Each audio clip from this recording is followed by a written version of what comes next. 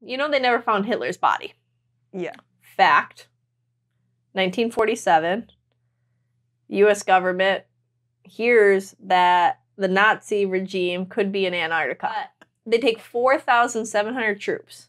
4 weeks later, they retreat and almost all of the military died. What battle? What happened?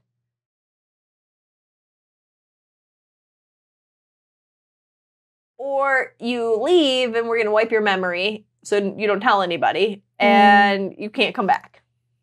But if they wipe your memory, I don't know. I don't know if I could leave my dog.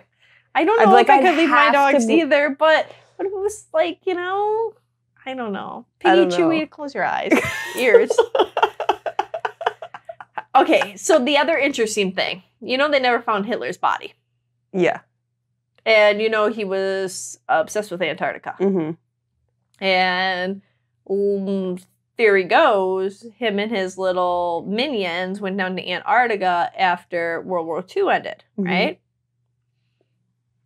Fact 1947, US government hears that the Nazi regime could be in Antarctica.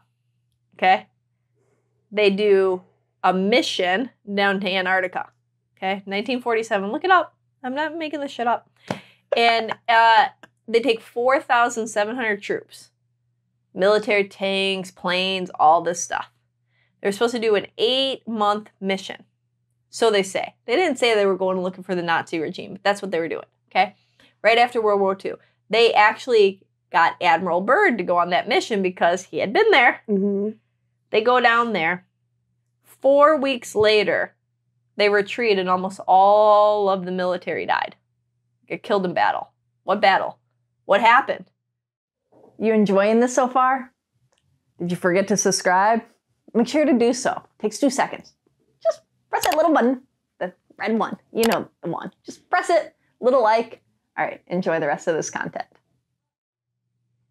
That's weird. Super weird. Who killed them?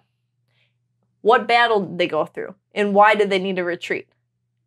Hmm. Hmm. That's crazy.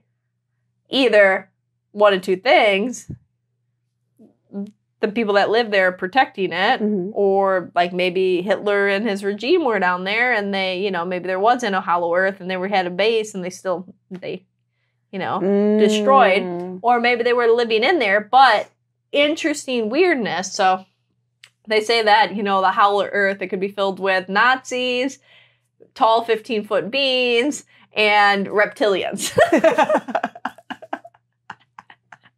We don't know because nobody's allowed to go there or explore it. yeah, but I mean that.